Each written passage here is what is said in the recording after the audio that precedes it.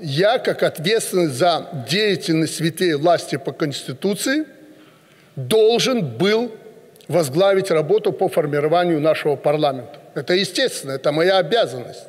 И, естественно, я переживал и болел, чтобы наш парламент был работоспособным.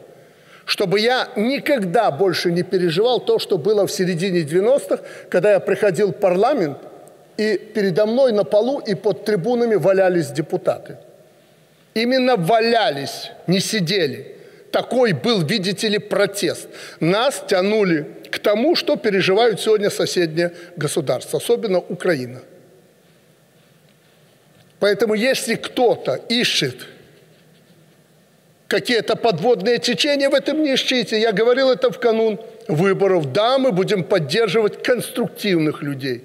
Парламент должен быть срезом нашего общества по вертикали – там должна быть и молодежь, и среднее поколение, и опытные, и неопытные, и ветераны, пенсионеры, глубокие пенсионеры. Пусть несколько человек. Но голос их должен быть слышен, потому что 30% нашего населения – это взрослые, очень взрослые люди. Кто будет представлять их интересы? Конечно же, они. Может, они уже не так скажут – может, та молодежь, которая у вас есть, не так понимают, но это их понимание, и мы должны это учитывать.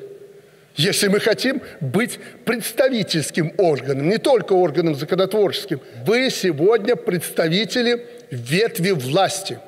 И начинайте работать в интересах своих избирателей. Пытайтесь доказать избирателям, что у вас тяжелейший труд, очень тяжелый, и вам честно скажу, имея опыт почти пятилетней работы в парламенте, порой отвратительный, ненавистный труд. Сидеть, выдумывать, придумывать, облекать форму законов то, что требуют люди –